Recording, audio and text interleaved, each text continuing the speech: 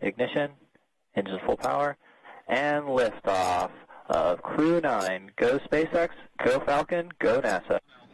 Blasting off Launch Pad 40 atop a Falcon 9 rocket, SpaceX Crew 9 headed for the International Space Station for a crew rotation that's become anything but normal. The vehicle is supersonic. On board, veteran astronaut Commander Nick Hague and Russian astronaut Alexander Gorbunov. Staying behind, original crew members Zena Cardman and Stephanie Wilson. Uh, I just want you to know we're going to find spots for them to fly. Their empty seats will be taken by Butch Wilmore and Suni Williams on the return flight in February. One, ignition.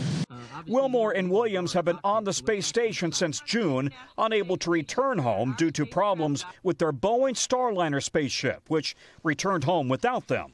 Now, Williams has been named Space Station Commander. This is my happy place. I love being up here in space. It's just fun. Williams and Wilmore are getting new spacesuits since their Boeing suits can't be used in a SpaceX ship on return. And since they trained in Boeing Starliner, they now have to learn the SpaceX systems while already in orbit.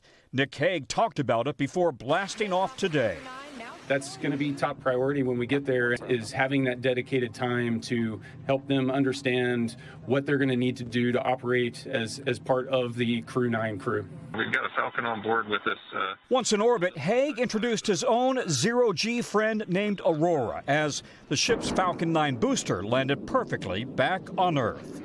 Crew 9 docks with the space station at 5:30 p.m. Eastern Time Sunday, not returning home until next February by which time Wilmore and Williams' 10 day mission will have lasted eight months. Jose?